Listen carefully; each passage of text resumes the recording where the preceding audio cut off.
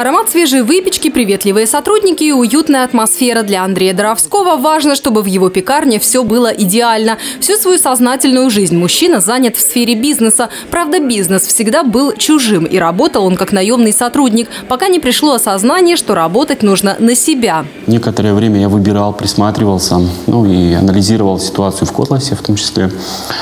И пришел к тому, что нужно открывать пекарню. На местном рынке не очень много игроков, и эти игроки работают уже достаточно давно. И хотелось внести что-то новое, какое-то разнообразие.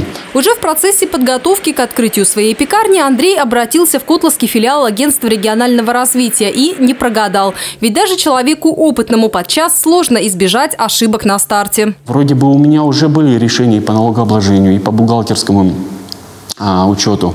Тем не менее, я обратился именно вот с этими темами сюда и получил консультацию. Я был на вебинаре по налогообложению, я получал консультации от архангельских специалистов по а, бухгалтерскому учету. Это позволило, позволило мне скорректировать свои планы. Вячеслав Дерягин свое увлечение парикмахерским искусством сравнивает со стихией. Раз взяв в руки ножницы, понял – это его. И вот он уже принимает клиентов в собственном салоне. Попытки открыть свое дело уже были, но существовали проекты недолго. Как он сам признается, одного желания мало, подход должен быть профессиональным. В агентстве регионального развития помогли получить социальный контракт. Это финансовая помощь для открытия своего бизнеса.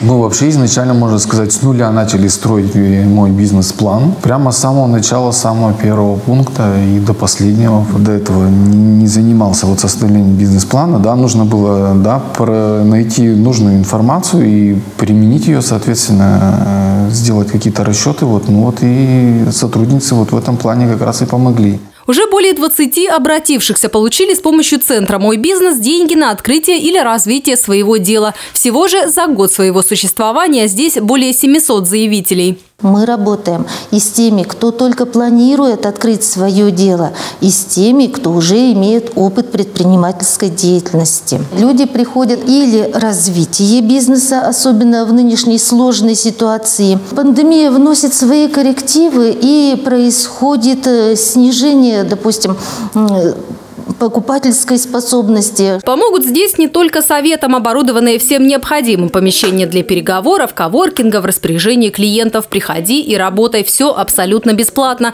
Плюс каждый клиент может получить раз в год набор консультационных услуг по три от юриста, бухгалтера и кадрового агентства. Направленное на поддержку малого и среднего предпринимательства агентство регионального развития заинтересовано, чтобы как можно больше людей смогли открыть свое дело. Обращайтесь по адресу в Котласе, улица Ленина, дом 65, номер телефона 8 800 172 0. Адрес электронной почты сейчас на экране.